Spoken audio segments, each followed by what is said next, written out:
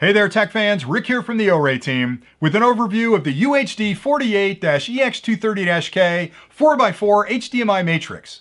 This product was engineered to make it incredibly easy for you to share four different HDMI media sources with four remote locations up to 70 meters away in full 4K ultra high definition resolution over a single Cat6 cable. The product features local loopback functionality, which allows you to enjoy the content here at the primary location from each of your media devices while you're simultaneously broadcasting it to your remote locations. And because the product is also a matrix, you have complete control over how that content is distributed. For example, you can send the same media source to all four remote locations simultaneously or different media sources to each of the remote locations individually. And you can control that using the buttons on the front of the matrix, the included remote control, or even through software.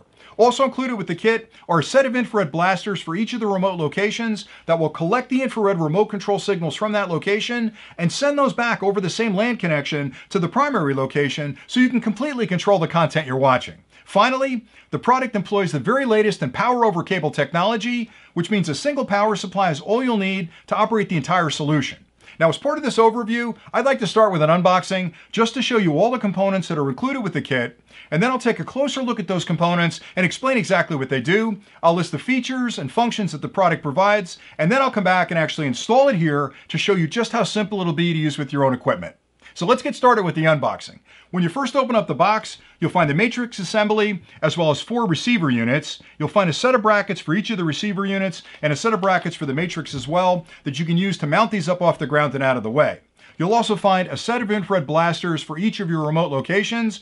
There's a set of receivers and a set of transmitters, and it's important you match these up. The receivers connect up to the remote receivers at those remote locations, and the transmitters connect up here at the matrix. This collects the infrared remote control signal, sends them back. These transmit them to the actual media devices you're controlling. You'll also find sticky pads that can be used to attach these to your media devices. Also included is an infrared remote control you can use to actually make decisions on which input goes to which output.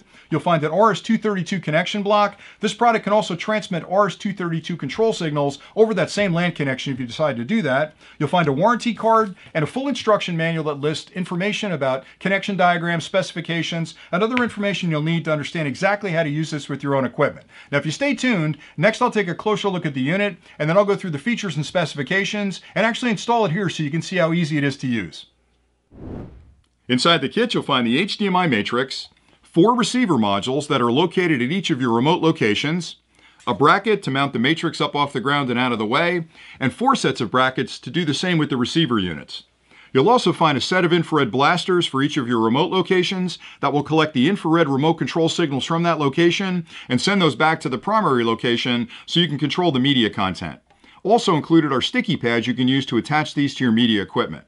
A single power supply, and that's all that's needed to power the entire solution, a remote control that can be used for making selection of which input is sent to which remote location, a custom cable for connecting the matrix to your computer to do software programming to make those choices through software.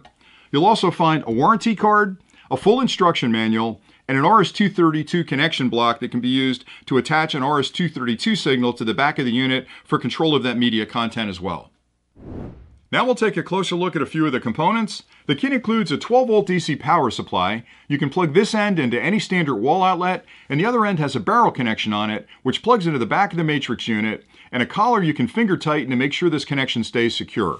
You'll also find four sets of infrared blasters, and they look similar, but they're actually different. If you look at the ends closely, you'll see one has a larger head and the other one has a smaller head. The larger unit plugs into the remote receivers at each of your locations. The smaller head plugs into the back of the matrix. And essentially what's happening is at the remote location, this is picking up the infrared remote control signals from your remote control, turning those into digital pulses that it passes back over that same LAN cable to this unit, which rebroadcasts those to your media devices so it gives you total control of the the content you're watching. The HDMI matrix features a full metal enclosure, which makes it extremely durable and helps to minimize outside interference from causing any issues with the electronics inside. On the one side of the module are two cooling fans, and on the other side ventilation slots, and they work together to pull air across the electronics during operation to keep everything inside at a very comfortable temperature. You'll also notice mounting holes on either side that can be used with the included bracketing kit to mount this module up off the ground and out of the way. On the front of the module, starting on the left-hand side, is a power switch, and that's used to turn the module on and off. To the right of that is a power indicator. When you add power to this module and turn it on, it immediately starts an internal power on self-test where it's checking the electronics inside to make sure everything's working okay. Once it passes that test, it'll light that LED letting you know it's ready to use. To the right of that is an infrared receiver window. That's used in conjunction with the remote control that's included with the kit. It'll pick up the digital signals from that remote control and allow you to decide which input is being sent to which output. To the right of that are four different outputs, one, two, three, and four, and they correspond to the connections downfield to your remote receivers. And this button here lets you decide which of these four inputs are being sent to that output. So for example, if you wanted to send the media content that was connected to port number two to output number one, you would tap this button until the LED below the number two came on, and that would send the media content from that device to output number one. Now the nice thing about this being a matrix is you can send the same input to all four outputs, or different inputs to each of the outputs depending on your needs. On the bottom of the module, you'll find more ventilation slots to let any heat that develops during operation escape, as well as four rubber feet, which will protect the surface you put this down on and keep it from sliding around. On the rear of the units where you make most of your connections, starting on the left-hand side, these are two network connections that are used if you want to use software to program the device. This is a standard LAN connection to a computer or your network. This is an RS-232 connector that can be used with the included custom cable. To the right of that are your outputs. Output number one, two, three, and four. These are where you'll connect up your LAN connection between here and your remote receiver. And if you want to do the local loopback from output number one, you'll connect an HDMI cable from here to a local monitor. This is output number two, output number three, and output number four. In the center is where your media devices connect, one, two, three, and four. Those are input devices, so you'll connect an HDMI cable from here to whatever device you'd like to share downfield, whether that be a computer or game console, DVD player, whatever you'd like to connect up, any standard HDMI connection will work. And then the infrared blaster kits connect up here. And remember I'd mentioned that they're different, so you want to make sure you connect up the transmitter side over here, and they correspond to output number one, output number two, output number three, and output number four. And that's where those receiver information that came from that remote site will be rebroadcast out here. To the right, you have a power connection. That's used with the included power supply. You'll slide the barrel connector in there and finger tighten that collar and you're all set. The kit includes four receiver modules which are all exactly the same. They feature full metal enclosures and ventilation slots on either side that keep the electronics inside at a really comfortable temperature. On the bottom of the module, you'll find mounting holes on either side that can be used with the included bracketing kit to mount these off the ground and out of the way. On the one end, you'll find a series of connections, starting on the left with the LAN connection. This is where you'll connect up the Cat6 cable from the matrix to this remote location that will move the media from that main location to this remote location. To the right of that is a service port. It's a standard micro USB port, and that's used for pushing firmware to these modules if needed later on. A lot of times updates are put out that improve features or functions, and it comes out in the form of a firmware file. And to do that, you'll actually connect the micro USB cable from here up to your computer. You'll move the file to here to complete that upgrade. To the right of that is where the IR Blaster kit connects, and you'll use the receiver module at the remote location, and you'll plug that in here. It's a 3.5 millimeter port. You'll just basically plug the cable in there. To the right of that is an optional power port. Now, you won't need that because this system uses power over cable, but that's where a power supply would connect up if you were using a system that didn't use POC. On the other end is one HDMI port, and that'll connect up to whatever monitor you'd like to enjoy the content that's being sent from the matrix to this remote location. And that's it for the receivers. The OREI UHD 48-EX230-K is compatible with most modern media devices, including digital recorders like TiVo, home surveillance systems, streaming devices like Roku, video cameras, and game consoles. The product supports full ultra-high definition 4K content transmission with four remote locations up to 230 feet or 70 meters away. The Matrix is HDMI 2.0B and HDCP 2.2 and 1.4 compliant with full EDID and CEC control of the media. It utilizes the very latest in POC technology to simplify connections. Now I'll show you the connections you'll need to make to use the HDMI matrix with your own equipment. And for this demonstration, I've set up four small media players right here that'll act as my input devices. And those are typically things like DVD players, game consoles, home computers, anything that can generate a standard HDMI signal that you'd like to broadcast to your remote locations. Right now, each of them are displaying a different image just to make it easy to tell them apart. On either side of me, I have monitors set up that represent your four remote locations. And these can be up to 70 meters away, and it's wherever you'd like to enjoy that content that's being broadcast from the matrix. In front of me, I have the HDMI matrix, and at either side, I have a set of remote receivers. Now, the first set of connections I'll make are to the HDMI matrix, and I'll start with the media devices. And I have four HDMI cables already connected up to those. And I'll plug those into HDMI input port number one, input port number two, number three, and finally number four. And these are standard HDMI connections. And now that I've made those four connections, I'm ready to get power to the unit. I've already plugged the power supply in. I've got a barrel connector here which plugs into the barrel connection on the back and I'll tighten the collar. Now, the minute I turn the power onto the unit, it's gonna check the power to make sure that it's valid and it's gonna beep letting you know it sees valid power. Once that happens, it's going to start an internal power on self-test where it's checking all the electronics inside, it's checking the resolution of my media devices, and it's starting to look for those remote receivers. So let me turn it on, and you'll hear it beep. That indicates you have valid power. And now it's starting its power on self-test. So we can connect up the remote receivers.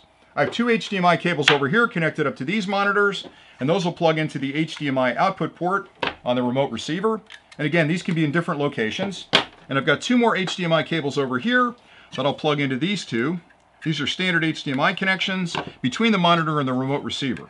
All right, now that I've made those connections, the only connection we're missing at this point is the LAN connection between the matrix and the remote receivers. Now, because this unit uses a power over cable technology, you don't need power supplies at the remote locations. The minute you make that LAN connection, you're sending both the media and the power over that same cable to enable those to function.